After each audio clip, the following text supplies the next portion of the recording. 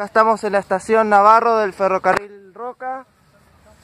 Esto era terminal de ramal que venía de Empalme Lobos. La estación está dentro de lo que es la réplica del Fortín Navarro.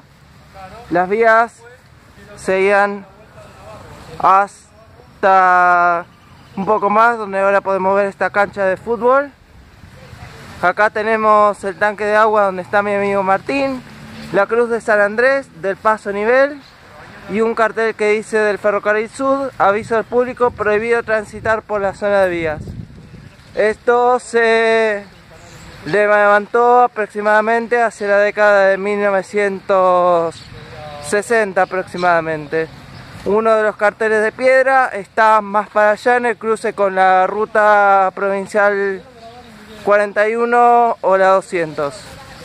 Así que bueno, un saludo gente.